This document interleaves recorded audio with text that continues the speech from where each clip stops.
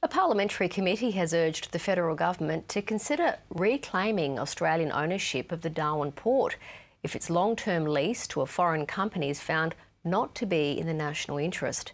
The NT government, under the previous CLP administration, signed a 99 year lease of the port to Chinese firm Landbridge in 2015. The Joint Standing Committee on Trade and Investment Growth says the federal government should explain if the port deal is subject to new laws allowing the Commonwealth to veto state and territory deals with foreign countries.